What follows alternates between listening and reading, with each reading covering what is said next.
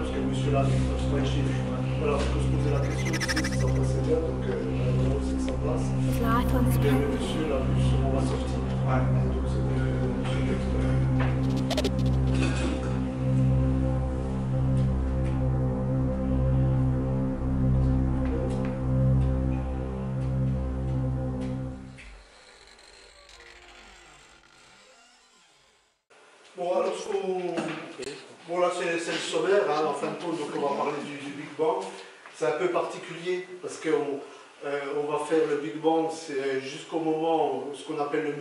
c'est- très peu de temps avant le, euh, point zéro. Et, donc, euh, comment euh, on va faire toute la partie avant. Donc ça, c'est une, partie qui est traitée souvent en, en enfin, en astronomie, cosmologie. Je crois que toi, tu avais déjà fait une fois le, Big Bang. hein, donc, donc on va, reprendre ça jusqu'au moment du, Big Bang, du Big Bang, et après on va voir la, donc la théorie des Bogdanov, donc où on passe de l'autre côté du mur de, du- de l'autre côté du mur.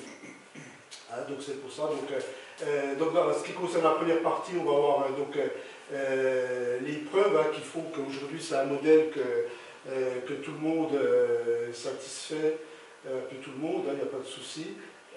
Donc ensuite, pour passer de l'autre côté, il faut savoir que dès l'instant qu'on va parler de, de, de- de cette fameuse théorie, c'est une théorie qui est purement mathématique, qui n'est pas du tout physique. Euh, C'est-à-dire qu'après le- ce passage-là, il n'y a plus de physique, il n'y a plus que, de la mathématique euh, par rapport à leur théorie, là, j'entends. Et, donc de ce fait, euh, je, vais passer des, petits outils euh, qu'on va avoir besoin, hein, entre autres, bon, euh, qu'est-ce que c'est un nombre imaginaire hein, mais ça va être très très euh, sommaire, hein, je me doute bien, euh, j'ai pas envie de me faire destroyer. donc ça sera vraiment. Euh, après, donc, euh, euh, ce que c'est une signature métrique, c'est un, état KMS, on va parler un tout petit peu d'entropie. Et donc après, on va pouvoir parler de cette singularité initiale à, l'échelle zéro, euh, le point zéro, etc. Voilà un petit peu ce qu'on va faire dans la soirée. Alors, je poursuis, mais ça ne veut pas, c'est pas grave. Voilà, alors maintenant un petit peu avant de, démarrer, hein, euh, il faut savoir que bon, euh, les Bordanov ont été euh, vraiment euh, comment, beaucoup beaucoup critiqués. Bon, donc moi c'est un petit hommage que je leur rends parce que euh, je les ai connus dans les années 80, je veux dire, euh, euh, par rapport à la télévision. C'est eux qui m'ont donné un petit peu le goût, euh, qui m'ont amené à, par rapport à leur vulgarisation, à m'intéresser à la science. Euh, euh, je leur dois un petit peu quelque chose par rapport à ça. Donc c'est pour ça que j'ai décidé de faire cette, euh, cette soirée-là. Euh, mais euh, donc ça a été beaucoup euh, critiqué du fait de, de l'originalité, si vous voulez. Hein. Bon, euh, euh, mais néanmoins, euh, euh, donc le, type de critique hein, euh, qu'on peut relever, euh, c'est euh, le fait euh, qu'on a dit souvent, euh, euh, c'est stupide, par exemple, c'est stupide euh, comment, de passer de l'autre côté du mur de plan. Je veux dire, il n'y a aucune raison de faire ça. Euh, L'origine, en plus, on n'est pas très sûr que ça existe, etc. Donc ça, c'était une critique. hein. Bon, là, c'est Etienne Klein, euh, il y a peut-être des gens qui connaissent, hein, qui, euh, a essentiellement parti là-dessus. Mais bon, il précise bien qu'il y a, des, y a des, pas mal d'astrophysiciens qui pensent la même chose. Bon. À l'inverse, moi, j'ai lu pas mal de, livres de, de- de Einstein. hein. Euh, Einstein a une démarche quand même qui est totalement différente, hein, dans le sens euh, où il disait des, questions euh, toutes simples que les enfants se posent. hein, en fait, c'est des questions qui révèlent des fois des informations fondamentales. hein. Lui, c'était vraiment un, vrai chercheur. C'est quelqu'un qui faisait énormément de d'expériences de pensée. hein. donc, je vais dire, si quelqu'un propose quelque chose, bon, pourquoi être contre c'est- de la science, bon, en l'occurrence, là, c'est peut-être beaucoup plus des mathématiques, mais euh, c'est un petit peu l'idée. Euh, bon, l'imagination est plus importante que le savoir, hein, donc euh, effectivement, alors, je dirais, on va passer rapidement là-dessus. Et en dernier, j'ai remis cette petite phrase, hein, c'était comment, quand Einstein avait comment, la première fois parlé de la relativité restreinte, peu de temps après, on a eu un, livre hein, qui est sorti qui s'appelait 100 auteurs contre Einstein. Et donc lui, alors quand la presse a posé la question un jour, ben, vous avez quand même, il a un livre, qui, il a 100 personnes qui, qui sont mis d'accord autour de vous, des, des grands mathématiciens, des grands physiciens, pour dire que c'était faux. Qu'est-ce que vous en pensez? Et lui, il a tout simplement répondu, c'était pas nécessaire qu'il y en ait 100, avec un ça aurait suffi. Ah, il voulait, ça voulait dire, euh, c'est pour ça que j'ai mis le petit 1 plus 1 égale 3, euh, il voulait dire simplement si c'était faux, bon, ben, il suffit de le démontrer et qu'on n'en parle plus. Hein. quand il s'agit de maths ou de physique, euh, c'est assez simple. ce que personne n'a vraiment fait. Donc j'ai repris ça, bon, c'était une petite idée par rapport au Bordanov. Je, je pense qu'on peut, être, bon, on peut être contre ou pas par rapport à, leur, leur, approche. Hein. Mais euh, néanmoins, si on fouille sur le net, euh, comment euh, on s'aperçoit que à chaque fois les gens qui critiquent critiquent la, comment, la forme, hein, mais ne critiquent pas le contenu. On n'a rien qui concerne les maths, j'ai jamais rien vu de dire qu'à tel passage c'est faux, la théorie, on va parler des états KMS ou peu importe, elle est fausse, puis qu'on amène autre chose, donc c'est un petit peu gênant. Hein. Bon, maintenant, euh, on peut penser qu'on est un petit peu dans la métaphysique, mais euh, pas plus que le, boson de Heiss. Hein, c'est pareil, hein, le boson de Heiss, aujourd'hui, on ne l'a pas vraiment trouvé. Euh, les supercordes, on n'a pas de gravité, donc, etc. donc il y a des questions à se poser. Donc pour moi, c'est un petit peu du même niveau, et donc on peut néanmoins s'intéresser à la question. Alors, là, je m'excuse, il y a un petit... Apparemment, il a décidé ce soir de m'emmerder. Alors, ah, c'est pas mort. Ah oui, c'est vrai. Oh, mais je peux couper. Hein. Alors, on continue. Ah, alors, c'est réveillé. Alors, euh, donc c'est quoi l'équation hein, Bordanov, donc euh, les deux frères qui s'appellent Igor, et, Krishka, hein, donc vous les avez, euh, vous les avez ici. Voilà. Il y avait un petit problème de menton. Alors, donc, euh, donc, eux, quand ils ont sorti leur théorie, qui a été énormément critiquée, euh, il y a Lubos Moll qui lui a repris leurs travaux, et qui a trouvé un petit peu, euh, enfin, il a vraiment trouvé que c'était intéressant. et donc, il a écrit un, livre qui s'appelle L'équation de Bandanov, Bon, moi, je me suis un petit peu inspiré de ce que lui il a fait. Bon, j'ai lu euh, naturellement leur livre, hein, le, Big Bang euh, qu'ils ont sorti, si ça intéresse quelqu'un, c'est un, bouquin qui est très très intéressant. Mais je, me suis inspiré euh, de ces fameux travaux. Voilà, donc je, Bienvenue à tous et bienvenue dans Temps X. Temps X, c'est votre magazine. Le magazine de tous ceux qui, s'intéressant à l'avenir, souhaitent en découvrir certains aspects.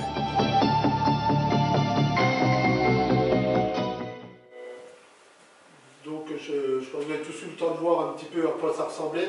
Donc ça, c'était le générique euh, des années 80, euh, où ils présentaient leur, euh, émission Temps X. Hein. donc ils invitaient des gens, Hubert Rive, des gens comme ça. Et puis donc en direct, ils posaient des questions. voilà, c'était une, émission scientifique qui marchait très bien. On, regrette aujourd'hui qu'il n'y ait pas d'émission de ce type-là. ça devient de plus en plus difficile. Voilà, donc vous avez vu, ça c'était donc le générique. Hein alors euh, à l'époque où ils faisaient temps X, ils n'étaient pas vraiment diplômés. Hein.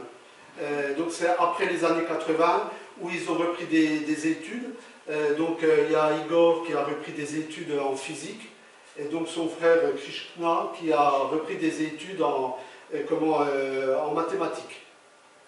et donc ils ont obtenu tous les deux, ils sont tous les deux docteurs donc en, en mathématiques et en physique. Alors là, c'est pareil, ça a été euh, critiqué sur la toile, hein, euh, que c'était pas normal, etc., leur diplôme, qu'ils ne le méritaient pas. Bon, là, je veux dire, euh, ça on est un petit peu dans le, ridicule, parce que, bon, à la limite, s'ils ne méritaient pas leur diplôme, ça veut dire qu'il y a un problème dans l'éducation nationale, c'est les gens qui leur ont, euh, fourni leur diplôme. Hein. On pourrait dire, hein, c'est pareil si vous avez le bac, pour dire, mais ne le méritent pas, euh, bon, ben, ça c'est possible, alors à ce moment-là, c'est pas l'élève qui a, eu son bac, c'est les gens qui lui ont donné son, son diplôme qui posent un problème. Hein. Donc, voilà, donc, bon, là, je vous ai mis quand même dans la partie ici, c'est tous les gens qui quand même euh, malgré tout ça, comment, ont soutenu leur thèse. Hein. Bon, en l'occurrence, bon, j'ai eu l'occasion un petit peu d'échanger deux, trois messages sur un site scientifique. C'est pour vous dire à tel point, moi qui ne connais pas grand-chose, à tel point qu'il est très très simple. C'est un gars, il refuse, refuse jamais le dialogue et tout. voilà, c'est sur la future science. Hein. je ne sais pas s'il est toujours sur ce, sur ce forum. Voilà. Alors, bon, ben ça c'est leur diplôme. enfin, leur diplôme, c'est leur thèse, plus exactement. Hein. Donc, euh, Krishka, donc, avec son euh, docteur en mathématiques, hein. et ici euh, Igor, hein, euh, qui est docteur en physique théorique. Et donc, à partir de là, ils vont faire leur, petit, enfin, travail qu'ils ont concernant le, le alors la, vidéo suivante, bon, elle est un petit peu hors sujet, mais j'ai trouvé ça sympa, donc c'est pour ça que je l'ai mis.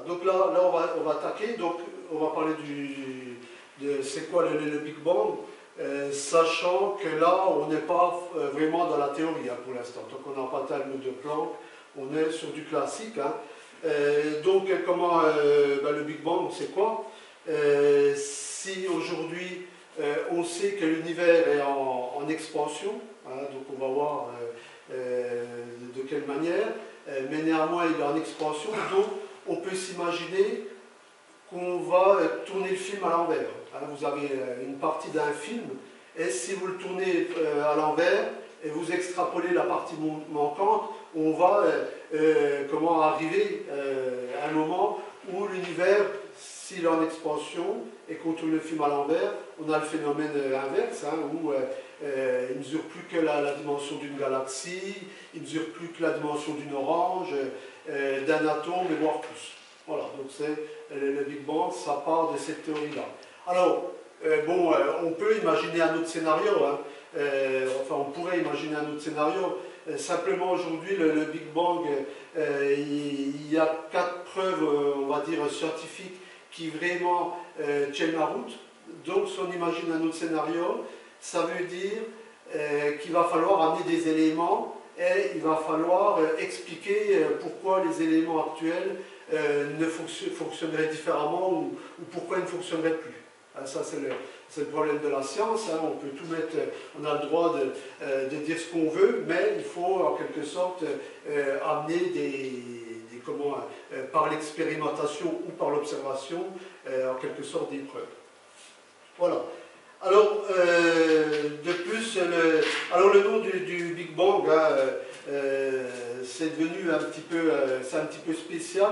c'est le fait, on avait comment euh, Fred euh, qui lui était un, gros défenseur de l'univers statique. Hein. à cette époque-là, on ne pensait pas que euh, l'univers avait pu être dynamique, hein, parce qu'on parle de quelque chose qui est énorme, si on revient en arrière, on arrive à quelque chose de très petit, une singularité.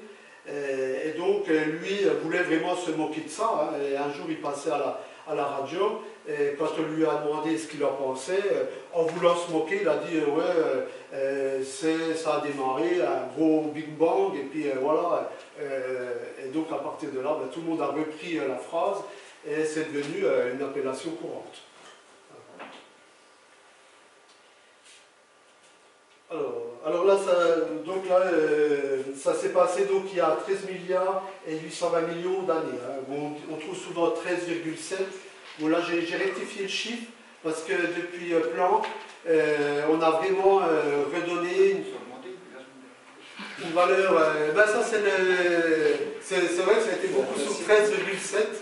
mais là, c'est sur 13,8. Hein, du fait euh, des calculs qu'on a refait euh, dernièrement. Hein.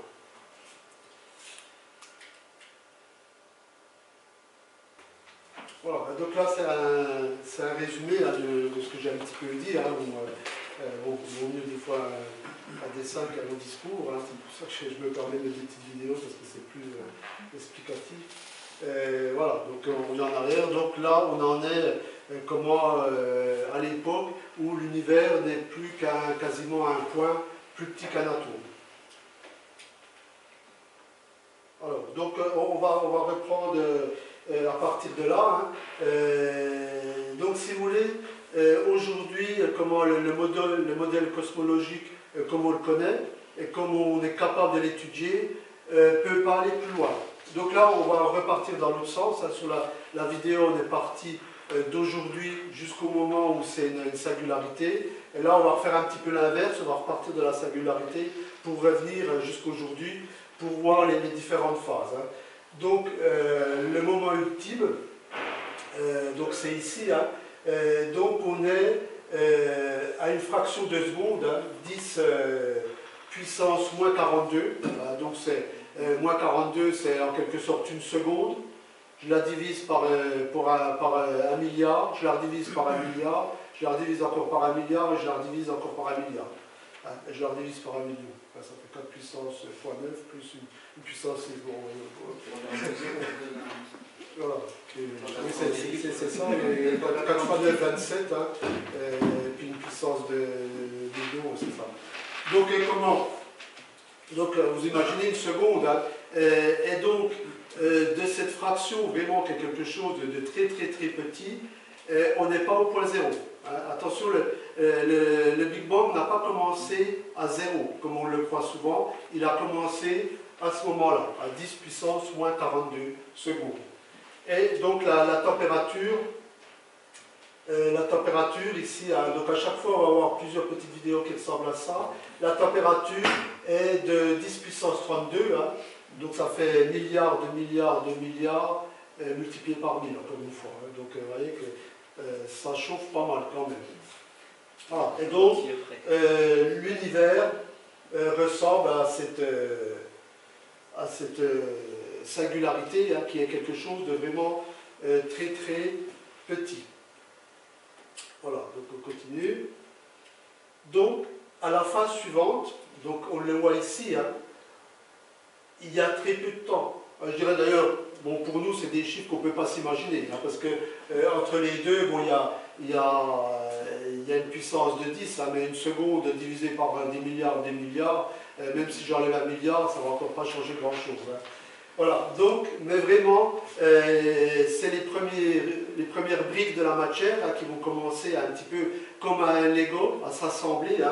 Donc au niveau des briques, on a uniquement euh, les rouges qui sont des quartz et des antiquartz en verre. Euh, donc ces, particules euh, vont comment s'entrechoquer et donc elles vont former des photons. si vous voulez, à, ce niveau-là, comment on a toujours un petit peu, on a de la matière qui se transforme en énergie, ou de l'énergie qui se transforme en matière. C'est tout simplement la, formule d'Einstein, E égale mc2. Euh, masse euh, énergie égale la masse multipliée par euh, la, comment, la vitesse de la lumière au carré. Hein, d'ailleurs, le, carré qui est 300 000 km secondes, on s'imagine tout de suite qu'on a affaire à des chiffres énormes. Ça peut donner. Voilà, mais on a, au début, on n'a que ces deux choses-là, hein, des quarks et des antiquarks. Alors, maintenant, il faut savoir que, je le fais sous la, la, la vidéo suivante, comment quand un quartz rencontre un antiquartz, hein, d'ailleurs les gens utilisent souvent le terme antimatière, euh, ils vont s'inhiber en transformant, en se transformant en, euh, énergie, hein, mais ils vont s'inhiber. Je veux dire, les deux vont disparaître. On a un milliard de chaque côté, mais quand il s'agit des quartz, on en a un en plus. Donc ça fait un rapport de 1 sur 1 milliard. Donc euh, on est dans des chiffres énormes. Alors ça va donner ça. Et je continue. Voilà, donc là, on, en a mis un milliard dans un cube, hein. et donc il se, rend compte qu'à la fin, il ne nous en reste plus qu'un. Hein, voilà, donc, euh, et c'est ce qui va faire toute la matière d'aujourd'hui. Hein, donc, euh, vous imaginez, euh, on avait des quantités phénoménales de, matière, et c'est celui qui reste, multiplié parce qu'il y, en a la même quantité phénoménale, c'est cette quantité-là qui va donner toute la matière qu'on connaît dans l'univers. Alors, si des fois vous avez vraiment une petite question qui, vous ennuie, hein, vous pouvez quand même la poser. Alors, bon, euh, là je, passe euh, assez rapidement parce qu'il y a, comme on a de la masse qui passe en énergie, etc., on a des, photons. Hein. et, donc, euh, ben, de temps en temps, il y a des, photons, et puis on commence à voir apparaître des. Alors là, il y a encore un petit. il y a un petit, quartz qui traîne, hein, ça arrive. Ils ne sont pas tous totalement inhibés pour l'instant. Alors, euh, à ce stade-là, on sait le temps a un petit peu bougé, mais on est toujours sur notre fameuse seconde. Hein. donc, euh, pour dire, euh, pour nous, on peut même pas s'en rendre compte. Par contre, la, température a également un petit peu baissé. donc, voilà, alors à ce niveau-là, on voit, en principe, on n'a plus d'antiquartz, hein, à part le verre qui traîne ici. bon, c'est peut-être une erreur du slide, hein, mais en principe, on n'en a plus. On voit qu'on n'a plus que deux types de quartz. Hein. On voit les rouges et les oranges ici. Euh, et on a des, petits neutrinos qui commencent à, se balader, les électrons et naturellement les, photons.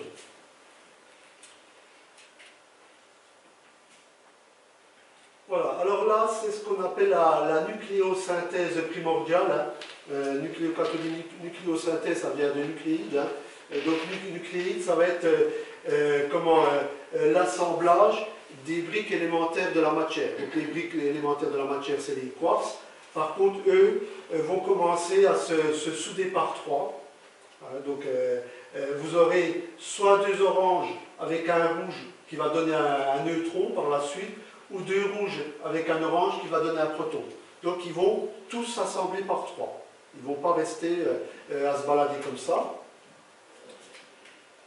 Alors, là, on, a, on a trois minutes qui se sont écoulées. Donc, euh, bon, là, c'est quand même plus, plus important. Et on a la température également, hein, je ne sais pas si vous avez remarqué, qui a pas mal baissé. Hein. On est un petit peu en dessous d'un milliard de degrés. Mais bon, ça, ça chauffe encore pas mal. voilà, donc là, on les voit bien, euh, assemblés par trois à chaque fois. Hein, donc, euh, euh, donc ça c'est un neutron, ça c'est un proton. On les voit assemblés par trois. Et donc, ils vont à ce alors ces, ces ensembles de trois vont eux également s'assembler pour former les briques, euh, les qu'on connaît aujourd'hui. on dit un atome est, formé de neutrons, de protons, briques d'hydrogène, et derrière, ils vont s'assembler par deux, deutérium, et après, on va avoir de, euh, de l'hélium et du lithium et 17. Hein, donc, euh, on va voir tout ça. Je crois qu'on le voit sur la prochaine vidéo. Voilà, donc là, on, voit les assemblages. Hein. bon, le, le slide n'est pas très bon. Euh, donc, ce qu'il faut regarder ici, c'est qu'on est, comment, 300 000 ans. Hein, donc, avant, on parlait de secondes. Là, on a, on a bougé carrément de 300 000 ans. La température a baissé parce qu'elle est de 10 000 degrés, 10 puissance 4, ça fait 1000 multiplié par 10, hein. elle est de 10 000 degrés, et donc là, vous ne pouvez plus avoir d'assemblage, hein, parce que la température est trop basse. Donc la, nucléosynthèse est terminée, en quelque sorte, hein. et donc on va trouver uniquement euh, de l'hydrogène, donc avec son proton, du deutérium, donc un proton et un neutron. ça c'est, pour ceux qui connaissent, c'est un isotope. L'isotope, ça veut dire que vous avez le même nombre de, protons, mais vous pouvez avoir des neutrons en plus qui sont neutres, donc ça ne change pas euh, l'élément de base. Hein. Donc euh, le deutérium, c'est... Euh, voilà. Après, on va avoir l'hélium. Donc l'hélium, c'est un petit peu différent parce qu'on en a deux. après, on a l'hélium 4 et on a le, lithium, hein, Héli7, donc où, ben, sur le, comment, le lithium, on a 7, protons, et puis le nombre de neutrons, je ne sais plus combien. Euh, euh, en plus, il y a des isotropes, hein, donc je ne sais pas lequel c'est. Et voilà, enfin, peu importe. On a uniquement ça qui se promène dans l'univers. On n'a rien d'autre. Hein. on connaît, euh, on a les atomes de carbone, d'hydrogène, enfin carbone, fer, etc. Et là, tout ça, ça n'existe pas pour l'instant. Hein. Il n'y a, que ça. Voilà. On continue. Voilà, donc tout ça va, se balader dans, l'univers. Hein. Donc là, on est à 10 puissance 9, donc ce qui veut dire qu'on est à 1 milliard d'années, après le Big Bang. Hein. Il ne faut pas remonter depuis ici, hein. c'est le Big Bang qui a eu 13 milliards, et on repart dans ce sens-là, on est 1 milliard d'années après, euh, donc 10 euh, puissance 9. Donc là, on a euh, comment, cette poussière qui se balade dans l'espace, et donc cette poussière va comment, là, c'est un petit peu comme chez vous. Euh, euh, si vous êtes chez quelqu'un qui ne fait pas trop le ménage, ça fait à un moment donné des espèces de minots qui se baladent à l'endroit.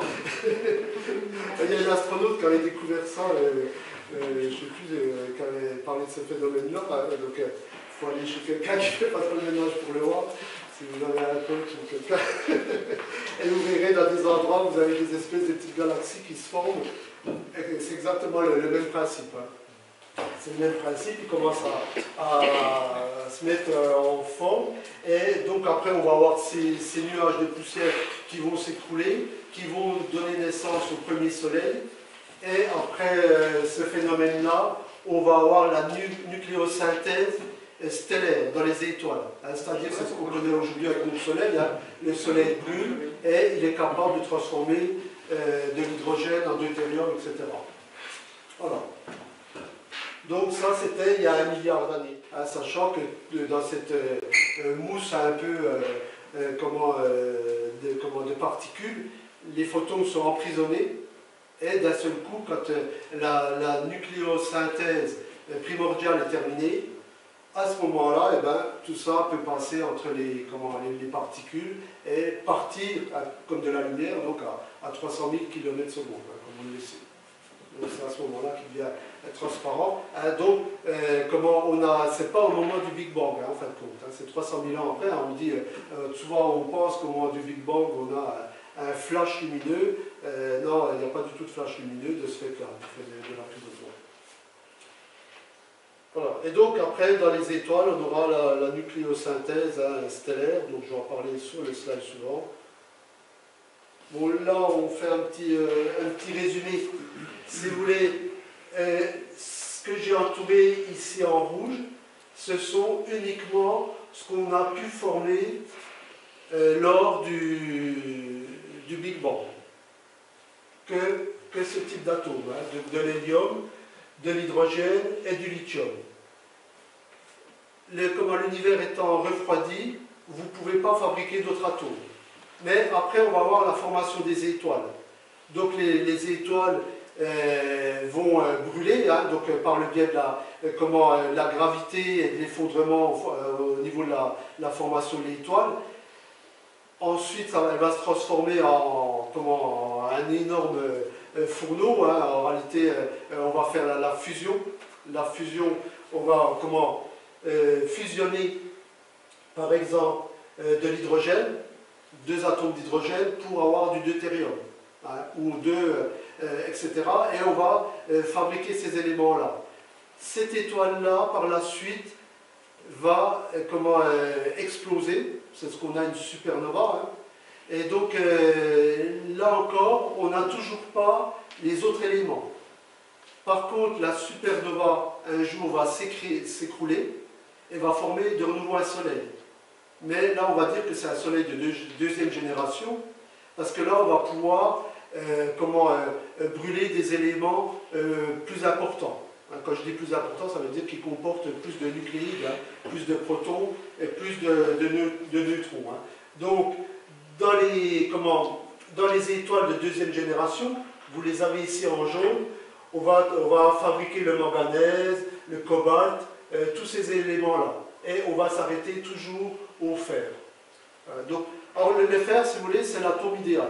Euh, tous les autres atomes voudraient bien nous ressembler, hein. c'est-à-dire les atomes-là, comment ceux-là, si vous faites de la fusion avec ces atomes-là, eh ben, on s'approche du fer. Par contre, après, par fusion, vous ne pouvez plus obtenir ceux-là. après, on va les obtenir par assemblage. Hein, c'est-à-dire, euh, euh, on va les assembler, donc c'est ce qu'on appelle la fission. Hein. Avant, on est en fusion, et après le fer, on est en fission.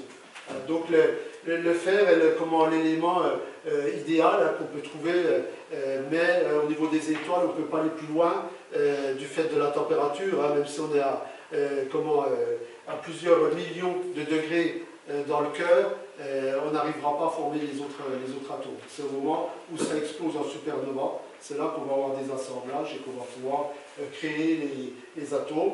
Donc, euh, euh, les atomes fabriqués au niveau de l'explosion d'une étoile, les avez en rouge, les blancs.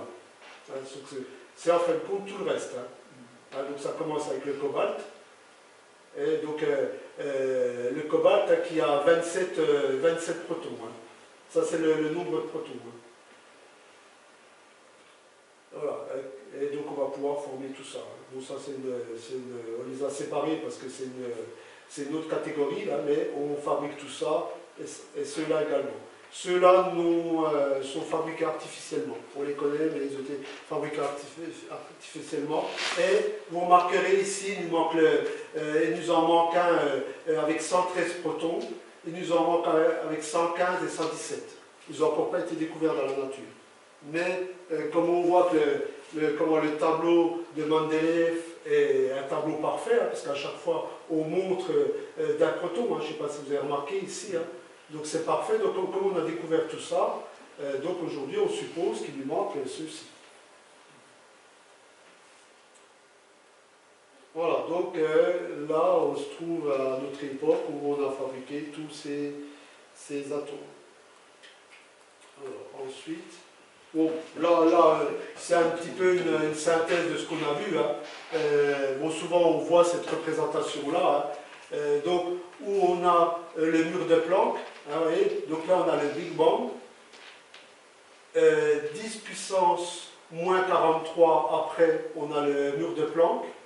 Et donc là, on a la grande unification. Donc la grande unification, c'était les premières briques qu'on a vues tout à l'heure, les quartz, antiquartz. Et après, on a la formation euh, euh, ici, et comment, euh, et on voit les différentes périodes hein, qu'on on vient de voir ensemble, hein, où on grimpe. Hein. donc là, on voit l'assemblage, la nucléosynthèse, on voit l'assemblage par trois, des comment, etc. Et puis donc, les, atomes, avec ça, c'est des photons. Et donc là, c'est justement le moment où ça devient transparent. donc là, toute cette partie-là, on voit bien qu'on est dans une espèce de, soupe primitive, hein, où les, photons n'ont pas la possibilité de sortir. Par contre, là, on est comment 310 puissance 9, hein, donc euh, non, on est à 300 000 ans ici, et donc on a les photons qui sont libérés, hein, donc ils peuvent partir euh, dans l'espace.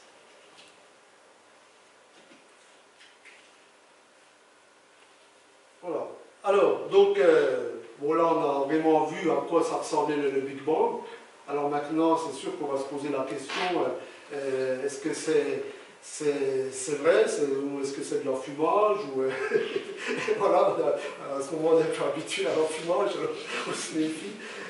voilà, donc, mais néanmoins, ça va reposer sur, sur des preuves. Hein. Alors donc là, la première preuve, euh, on l'a avec euh, hein, Friedman, qui va reprendre tout simplement les, équations d'Einstein, parce que ça, ça a beaucoup démarré quand même sur le modèle cosmologique d'Einstein. Si vous voulez, avant, l'univers était quelque chose de statique, Donc on ne réfléchissait pas sur l'univers, c'était statique, point final.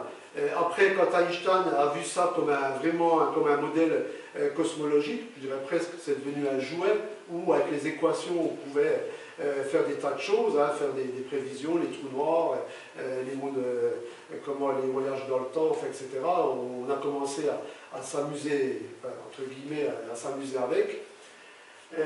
donc Friedman a repris ces équations et donc lui, par rapport à ces équations-là, c'est le premier qui a commencé à parler euh, du Big Bang. Hein, donc, si vous voulez, le Big Bang était vraiment conforme aux équations d'Einstein. Et donc, il y a, ensuite, on a le maître, hein, donc c'est lui le, plus important euh, dans cette histoire-là. Hein. Euh, le maître, lui, il va donc penser à ce schéma-là, et donc il va revoir les, équations. Il y a l'histoire de, de constantes cosmologiques que, je passe parce que ça risque d'être un peu long. Euh, mais lui va reprendre les, calculs qui ne sont pas évidents, euh, mais par les calculs, on tombe vraiment sur un, point de singularité, donc on est conforme au Big Bang. Donc ça c'est la première preuve, les équations sont conformes au Bang.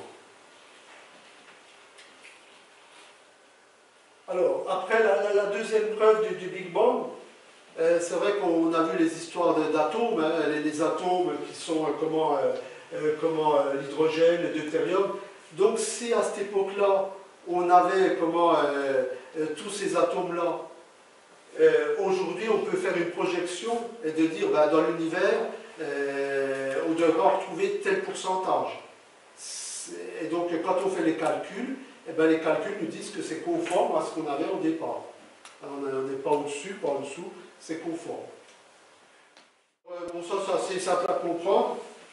Euh, comment euh, c'est l'effet Doppler, hein, en, fin de compte. Euh, ici, vous avez une, personne avec un porte-voix, on va dire avec une sirène, ça sera peut-être plus juste et plus sympa. Une personne avec une sirène. Ici, vous avez une personne immobile. Donc, si, vous voulez, le, son qui lui parvient, il a une certaine fréquence. Quand le son est passé au niveau de la personne qui continue, la, fréquence n'est pas modifiée pour autant. On a toujours la, même fréquence. Maintenant, on va refaire la même expérience, mais on suppose que cette personne se déplace euh, rapidement vers le son. Donc, le son, si vous voulez, derrière elle est tassé. Et à l'inverse, si elle se déplace dans ce sens-là, euh, on a le phénomène inverse. Donc ça, il existe un exemple qui est tout simple. Euh, c'est si euh, comment, vous avez une sirène de pompiers, si vous êtes en voiture, derrière la sirène, que les deux se déplacent à même distance, le son, il ne bouge pas.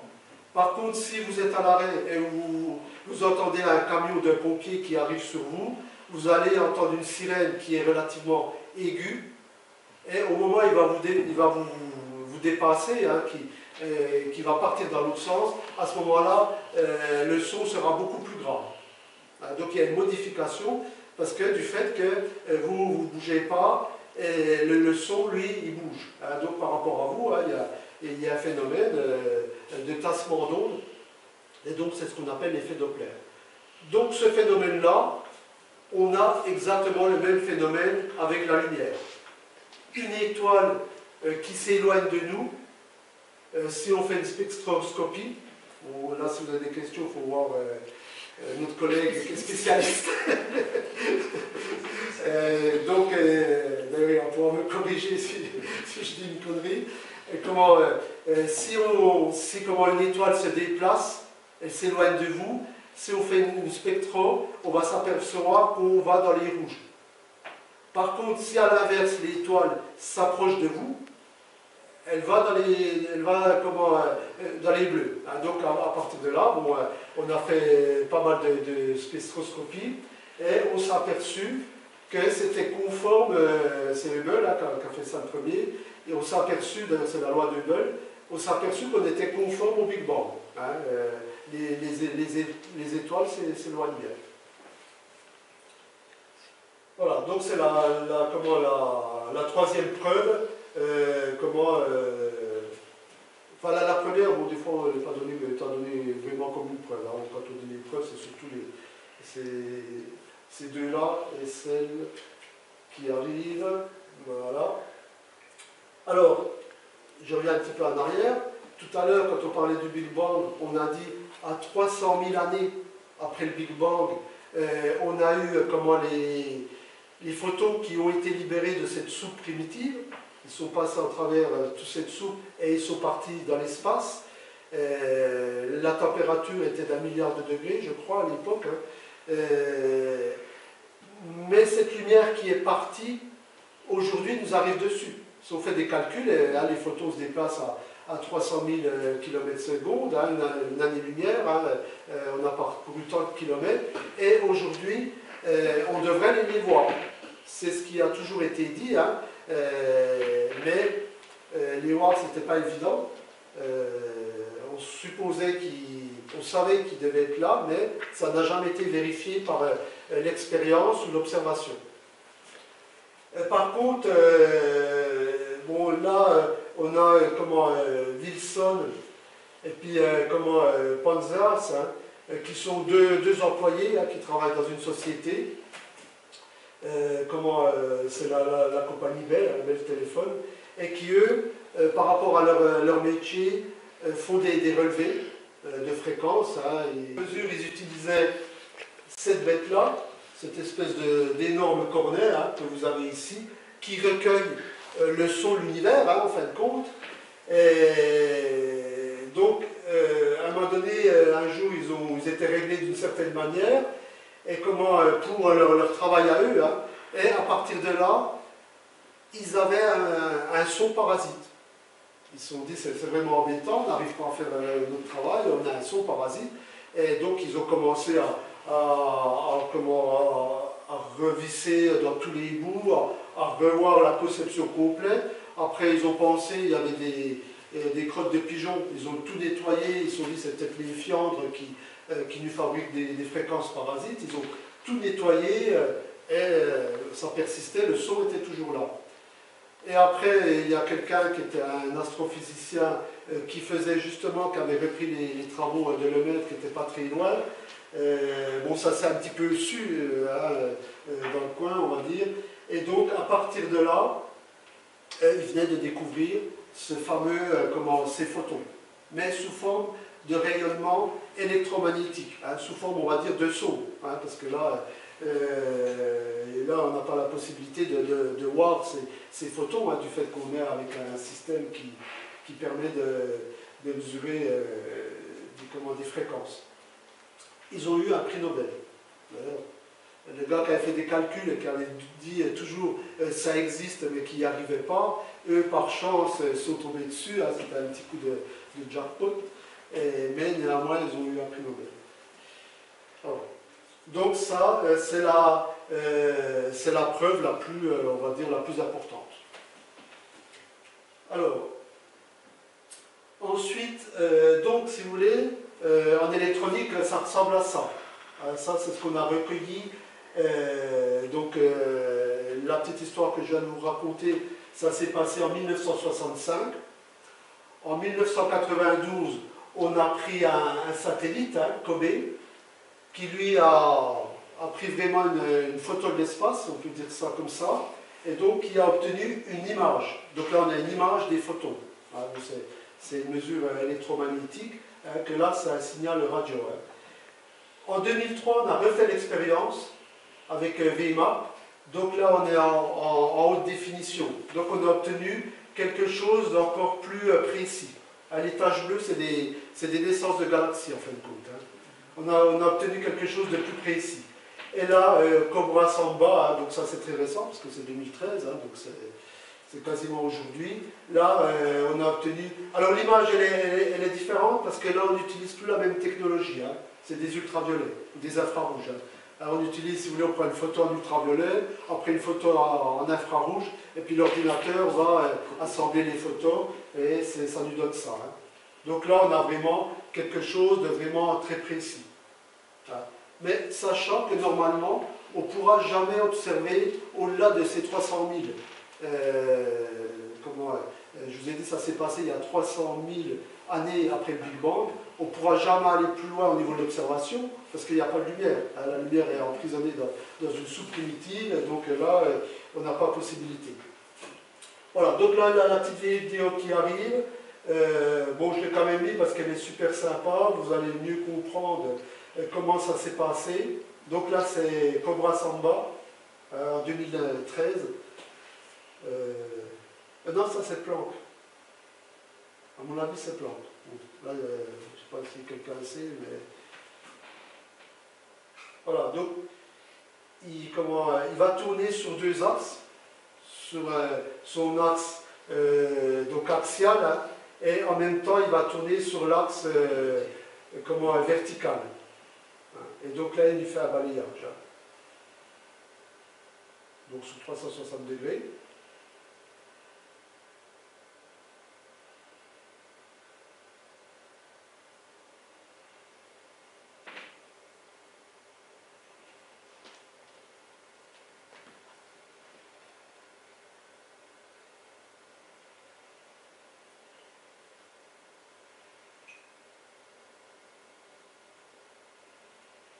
Voilà, donc là on déplie comme on le ferait avec une main monde, hein, tout le monde a vu. Euh, voilà, et donc ça c'est l'image, euh, bon, euh, suivant la lumière qu'on va utiliser, voilà, donc c'est l'image que vous avez vue précédemment. Donc là c'est, on va dire là la preuve, bon je ne vais pas dire irréfutable, hein, mais en tout cas aujourd'hui il n'y a pas de scénario possible différent de celui-là. Voilà, donc Là, là j'ai repris un petit peu une conférence qu'on avait faite. Euh, et donc là, on se trouve euh, comment, au mur de Planck. Alors, donc, en résumé, bon, là, le chiffre là, je vous l'ai mis euh, pour info, hein, donc quand on disait 10 puissance moins 43 secondes, hein, vous voyez que c'est quand même un, chiffre très très faible. Hein. donc, c'est pas mal des zéros, ou un million, deux milliards, deux milliards, deux milliards, deux milliards, si vous préférez. Euh, donc ça, c'est après le, moment zéro. Hein, donc euh, très peu de temps. Alors, euh, donc pour l'instant, au niveau, comment, information, hein, on peut dire que le Big Bang n'a pas eu lieu à l'instant zéro, mais à l'instant de Planck. Hein, donc 10 puissance moins 43. donc si on parle mur de Planck, en réalité, mur de Planck, c'est l'instant. on dit mur parce qu'on ne peut pas passer de l'autre côté. c'est symbolique. Euh, donc, si on fait des calculs, hein, c'est ce qu'on a dit précédemment, ça fonctionne bien. Jusqu'à ce moment-là, il n'y a pas de problème, euh, les calculs fonctionnent, hein, aussi bien les calculs en relativité générale, euh, même si on ne peut pas les assembler concernant la gravité, l'équation, les équations sont bonnes. maintenant, si on parle du mur de Planck avant, donc à ce moment-là, les équations ne fonctionnent plus, euh, de la relativité générale ou de la physique quantique. Hein, elles ne sont plus utilisables. Donc, à partir de là, euh, euh, tout le monde va se coucher, c'est fini. non, pas tout à fait. Alors,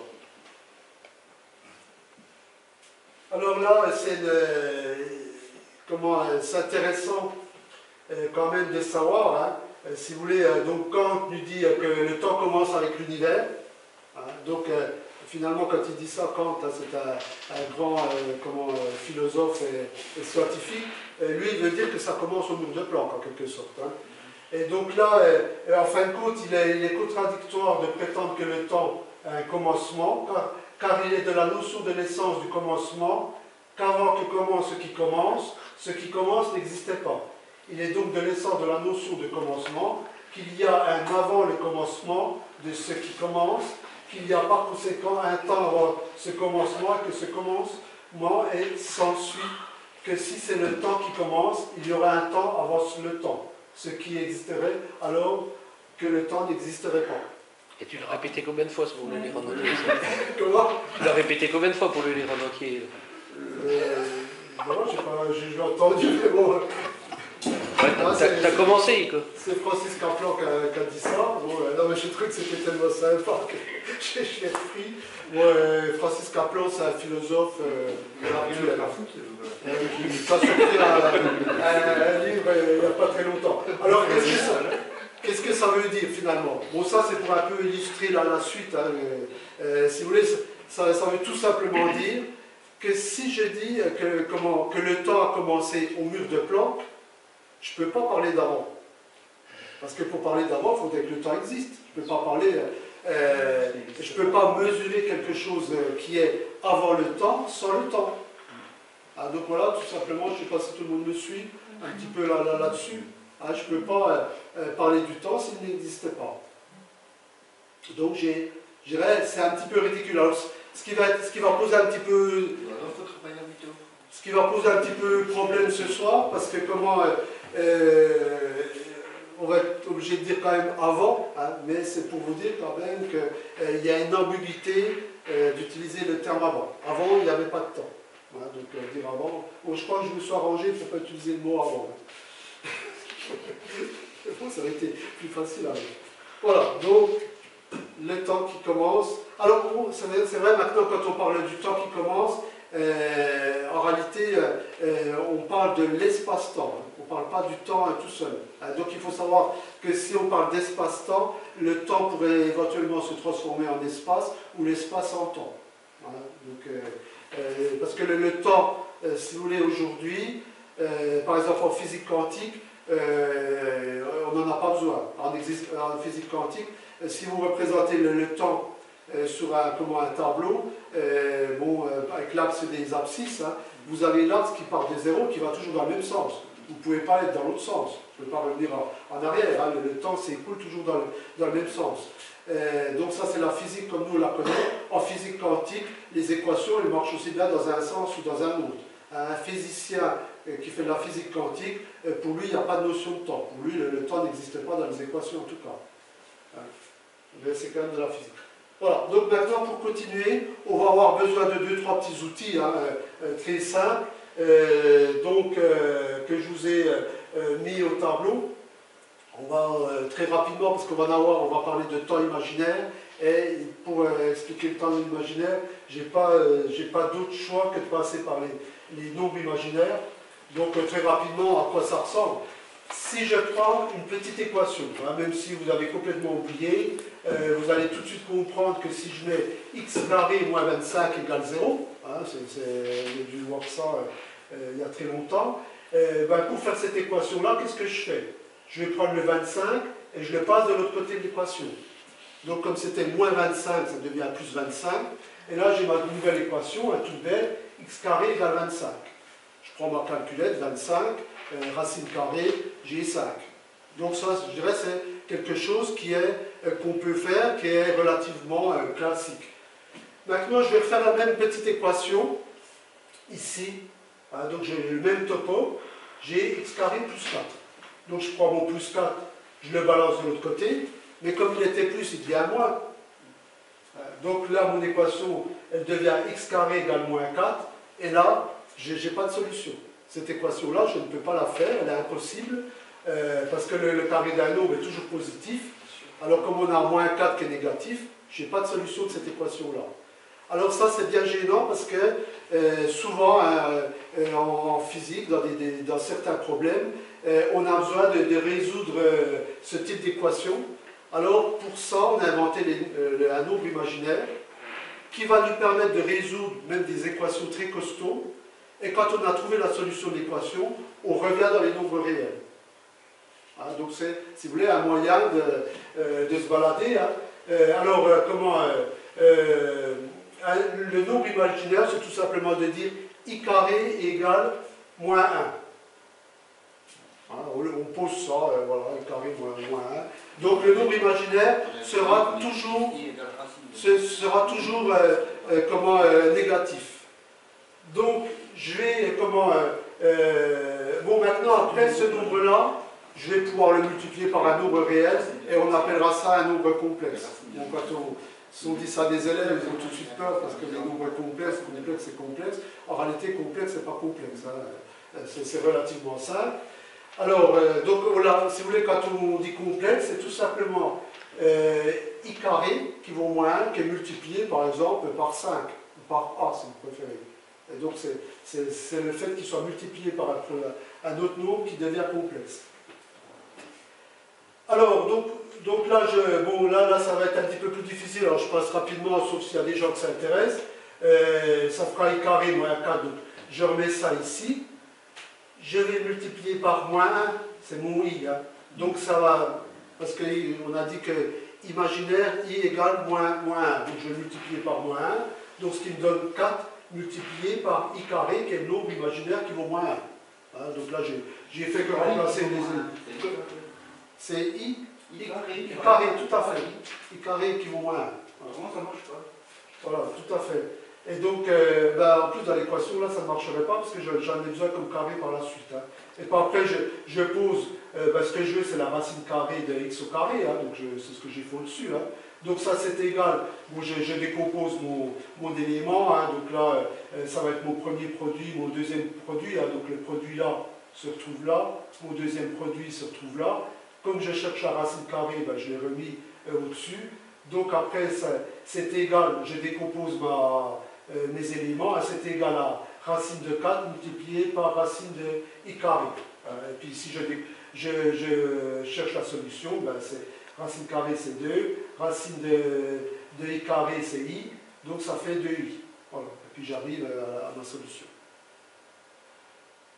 Bon, on ne va pas passer plus de temps là-dessus. Euh, bon, je suis un petit peu désolé de, passer par là, mais on en a besoin pour, pour la suite. Continuons.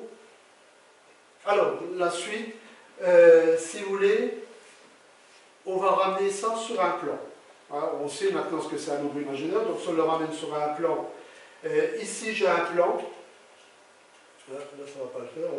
Là, j'ai un plan. Et là, tout le monde reconnaît mon, mon, comment, euh, mon nombre imaginaire hein, qui est là.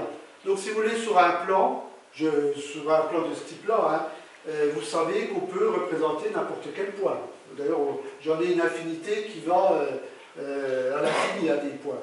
Donc je peux les, les, représenter sur cette forme-là. Je viens de trouver mes nombres imaginaires, c'est bien pratique, donc maintenant je vais les représenter sur cette forme-là. Donc sous cette forme-là, si vous voulez, c'est BI, donc ça c'est ce qu'on appelle la partie imaginaire, plus A, A c'est la partie réelle, que je représente sur un axe. Donc la particularité de ça, si vous voulez, c'est que si j'enlève la partie A ou qu'elle vaut 0, n'importe quel nombre du plan, ici, va se retrouver sur cet axe-là. J'ai plus besoin de cet axe-là. Du fait que j'enlève les réels, tout va s'écrouler et tout euh, va venir sur cet axe-là. Hein. Euh, donc, euh, qui, normalement, vous, vous connaissez cet axe-là, vous appelez ça ordonnée. bon, les, mathématiciens, quand il s'agit de, de cette chose-là, de cette bête-là, appellent ça un axe affixe. Affixe parce que c'est fixe. il y a une donnée dessus. Voilà. Bon, bon, je pense pas que vous n'avez pas de, rien de particulier par rapport à ça. Hein. C'est pas trop flou. C'est une manière euh, de représenter les, choses. Si on ne va pas, on va pas trop loin. Hein, euh, hein, bon, si, euh, si là, quand même, je rappelle que A plus B, pour le langage, hein, ça s'appelle un nombre complexe. A tout seul, ben, c'est un nombre réel, cet axe-là. Et puis BI, c'est mon nombre imaginaire. on l'appelle plus complexe parce qu'il n'y a plus les trois. Donc ça, pour l'instant, je vais l'abandonner. Après, ça va vous aider à comprendre ce que c'est un temps imaginaire. Euh, donc, je poursuis. Euh, et euh, maintenant, on va avoir besoin d'une deuxième petite notion. C'est ce qu'on appelle la signature démétrique de l'espace-temps. Donc, si vous voulez, vous, quand vous mesurez des choses, vous mettez des centimètres. Hein. par contre, au niveau, quand on a besoin de définir une métrique, peu importe la valeur qu'on va avoir ici. Hein, je veux dire ici, entre deux points, ça pourrait être des centimètres, ça pourrait être des mètres, ça pourrait être tout ce que vous voulez. Euh, simplement, euh, là, je vois que ce, type de métrique, euh, je vois à quoi elle ressemble. je poursuis. Alors, maintenant, au niveau des, métriques, hein, je, vais simplement prendre d'exemple la métrique que tout le monde connaît, c'est la nôtre actuellement. Hein. Alors la nôtre, elle est fabriquée comment? Vous, vous connaissez le point. Donc si je prends un point et que j'en mets une infinité qui sont orientées dans le même sens, Tu vas arrêter, non? Non, non, non, je regarde où ça en est aussi. Je- Euh, Si on a une affinité de points orientés dans le même sens, j'obtiens une ligne. Donc euh, une ligne, euh, si vous regardez mon carton, ça ressemble, à ça. hein. Donc c'est ce qu'on appelle, euh, la ligne, c'est ce qu'on appelle la première dimension. Hein, Je suis parti, je pars de mon point, hein, je suis parti toujours dans le même sens, et la première dimension, j'obtiens une ligne. Par contre, à partir de là, ma ligne, je peux la, bouger, je peux la, tourner comme ça, ou comme ça, ou peu importe. Et donc là, je vais obtenir ce qu'on appelle un plan. Donc ça, ça va être tout simplement la deux- deuxième dimension. Rien de, bien difficile. hein. Et à partir de là, je peux mon- monter mon plan dans l'espace. Et donc ici, j'obtiens la troisième dimension. Donc on vit dans un univers à trois dimensions. Par contre, il me faut également la notion de temps qui est la quatrième dimension. Hein, très simplement, si aujourd'hui je donne rendez-vous à quelqu'un euh, dans une tour, euh, il va bien falloir me déplacer en X et en Y, c'est mes coordonnées GPS. Là, je me retrouve en bas de la tour. Par contre, il va bien falloir que je monte au sixième ou au dixième étage, qui serait la troisième dimension. Par contre, il faut également que je donne un rendez-vous. Parce que si je ne donne pas de rendez-vous, que j'y vais à 17h et que le gars il va à 20h, on ne va jamais se croiser. Donc ça, c'est la quatrième dimension. Donc aujourd'hui, si vous voulez, nous, on vit tout simplement dans un espace-temps euh, qui a une métrique de ce type-là. Les plus représentent des dimensions. Donc on est dans un espace-temps, euh, donc plus, plus, plus. Et le, euh, comment, et le temps, lui, se, se représente avec un signe moins. Donc on est dans un espace-temps, plus, plus, plus, moins. Voilà, euh, ce que ça veut dire la métrique. Voilà. Donc rien, rien de bien compliqué, hein, malgré que ça soit un terme un petit peu barbare. Mais bon, en maths, on aime bien les termes barbares. Alors, donc maintenant, je vais prendre un exemple un petit peu euh, euh, parlant, mais c'est bizarre que j'ai ça. Euh, oui, bon, bah, ça, oui, ça, ça peut se faire avec ça, effectivement. Donc si je prends un sablier, un sablier que je mets en position verticale ici. Vous ne fiez pas au petit grain de sable, hein, parce que c'est moi qui ai pris le sablier qui l'ai bougé, mais les grains de sable ne seraient pas dans ce sens-là, hein, je vous rassure. Comment, mais donc j'ai mon petit sablier. Donc le temps réel comment, euh, se présente, euh, représente bien l'axe vertical. Hein, si vous faites cuire une omelette, euh, donc vous mettez votre sablier, c'est bien le temps qui se, qui se déroule, donc c'est ce qu'on on appelle le temps réel. Que, se passe-t-il si le sablier est basculé à 45 degrés? Donc on va voir, je vais revenir dessus, mais c'est là qu'on va rentrer dans ce qu'on appelle le temps complexe. Du fait qu'on est, à 45 degrés, mon sablier, je peux le basculer dans un sens ou dans un autre. Donc on va dire le sable qui est à l'intérieur de mon sablier, il fluctue en quelque sorte. Hein, Donc là, on a bien, c'est un bon exemple, parce qu'on a bien euh, le temps qui, euh, euh, qui se transforme en espace au, gré du sablier. Il fluctue dans un sens ou dans un autre. En revanche, si je le laisse carrément à, plat, donc là, on n'a plus, on a un temps qui est euh, vraiment imaginaire parce que ça fluctue euh, plus du tout.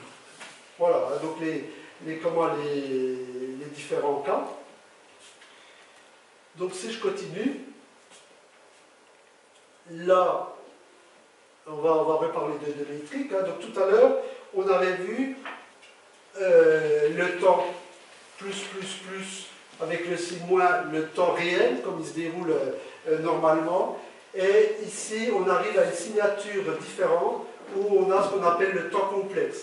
Donc on retrouve toujours les dimensions d'espace, première, deuxième, troisième, mais comme il, flu- il fluctue, on a tant- tantôt du temps, ici, le, plus représente un temps imaginaire, et le moins représente le temps réel. Donc je suis avec mon sablier à 45 degrés, euh, il y a 2-3 grains de sable qui passent quand même, parce qu'il à 45 degrés. Donc là, on a du temps réel. hein, S'il y a un grain de sable, on a du temps qui s'est déroulé. Et si le sable ne peut plus passer, on n'a plus que l'espace entre les grains de sable. euh, donc le temps est représenté par les- les- l'espace entre les grains de sable. Donc on a ce qu'on appelle le temps complexe. Et à l'inverse, j'ai mon sablier qui est tout en bas. Donc on a du temps euclidien. Alors là, le terme peut per- euh, peut porter à confusion, on a toujours comment système comment orthonomé, etc. Hein. Donc là, on a bien affaire à du temps euclidien. Donc les trois formes de temps, euh, Lorenzien, c'est donc le temps qu'on, c'est ce qu'on a nous, hein, parce que c'est le modèle que j'ai défini précédemment. Le temps complexe et le temps euclidien. Voilà les, trois formes de temps qu'on, trouve. Euh, euh. alors, maintenant, si vous voulez, celui-ci, le temps lorenzien, on le connaît bien, c'est celui qu'on utilise tous les jours. Le temps complexe, c'est à l'instant zéro. Tout à l'heure, on a vu le mur de Planck. Là, on passe de l'autre côté du mur de Planck. Et euh, si vous voulez, à ce moment-là, euh, ben, ça fluctue. De temps en temps, on a, du temps, encore du temps réel. Et on va rentrer dans le temps euh, imaginaire. Donc, comme il n'est ni réel ni imaginaire, on dit que c'est un temps complexe. Et le temps euclidien, on bascule de l'autre côté. Et donc là, ça ne fluctue plus hein, entre les deux. Hein. Euh, là on a bien un temps qui est euh, purement imaginaire. donc un, temps imaginaire assez facile à, s'imaginer. Euh, si vous prenez un, un CD avec un film, quand vous avez le CD, comment, vous avez toute l'histoire, mais ça ne se déroule pas. Il est bien imaginaire sur le CD. C'est au moment où vous allez mettre comment, le CD dans le, comment, dans le DVD que le temps va se dérouler. Hein, le temps va se dérouler à ce moment-là. Hein, donc, euh, mais le film, on se l'imagine sur le, DVD, il est figé. Bon là, sauf qu'il est, figé sur le DVD, mais c'est un temps purement imaginaire. Alors une petite parenthèse ici, dans le temps complexe, on a bien cinq dimensions. Hein, d'ailleurs, c'est pour ça qu'on a le plus et le moins. Les, trois dimensions d'espace qu'on connaît, euh, le temps réel qui est ici, le signe moins, et le temps imaginaire qui est le signe plus. Donc on a vraiment cinq dimensions. Et après, quand on va passer de l'autre côté, on a, on a vraiment quatre dimensions. Alors ça, c'est déjà une, originalité euh, des frères Bogdanov, hein, euh, parce que dans tous les systèmes qu'on a, en physique, on utilise un état imaginaire. On les, on les, on les utilise, mais c'est les seuls dans le modèle cosmologique là, hein, il y a des approches, euh, qui parlent de temps imaginaire. On est toujours dans le temps réel. Hein. Euh, les supercordes, par exemple, on est dans du temps réel. Il n'y a pas de temps imaginaire dans, les supercordes. Hein. On va faire comme c'est dans la métaphysique. Alors, donc là, maintenant, on a vu, on a besoin de trois notions. Donc ça, c'est la dernière notion, c'est les états KMS, c'est les états d'équilibre thermique. Alors, donc, dans euh, un état KMS, si vous voulez, euh, on est passé de l'autre côté du mur de Planck, ou au mur de Planck si vous, vous préférez, on a parlé des, températures incroyables. Je ne sais plus, on était à, 10 puissance 33, hein. donc ça fait des euh, milliards de milliards de milliards de millions de degrés. Hein. Mais néanmoins, bon ça c'est un phénomène physique hein, qu'on connaît, on a un, état d'équilibre. Alors pourquoi qu'on a un état d'équilibre à des températures telles ben, tout simplement, vous le savez très bien, parce que euh, là, la, petite nana qui est dans son bain, euh, si vous rajoutez de l'eau chaude dans le bain, l'eau chaude ne va pas rester ici. Elle va bien se mélanger. Donc, euh, vous avez toujours ce, qu'on appelle un état d'équilibre. Donc, l'état KMS, hein, c'est un état d'équilibre de pure énergie. Bon, là, quand je prends l'histoire du bain, c'est un exemple très simplifié mais ça se passe exactement pareil, euh, à haute température, hein, on a équilibre d'énergie hein, euh, avec euh, comment température, hein, température-énergie, ça s'équilibre parfaitement, et c'est des, modèles mathématiques, parce que tout ce que je suis en train de dire, ça correspond à des, modèles mathématiques avec lesquels on peut travailler. on sait très bien ce qui se passe, on rajoute 100 000 degrés, comment varie l'état, etc. On le sait parfaitement. Et donc, si vous vous souvenez, à un moment donné, on a parlé des, fameuses briques, des premières briques euh, comment, des atomes, hein, c'était les quartz et les antiquartz. Là, comme on est au mur de Planck, ou euh, à la limite avant le mur de Planck, on n'appelle plus ça des, quartz, on appelle ça des instantons ou des monopoles. Donc instantons, monopoles, euh, tout simplement parce que ce ne sont plus comment, des entités physiques, ce sont des, des entités purement mathématiques. Hein, donc un instanton est, une entité mathématique euh, qui comporte des, informations. Hein. Euh, voilà. Alors là, euh, donc hein, c'est ça qui est important. donc à ce stade-là, est de pure énergie et d'information en, équilibre. Alors, je continue. Alors l'entropie. Bon alors l'entropie là je vais passer rapidement parce que ça c'est une notion un petit peu difficile.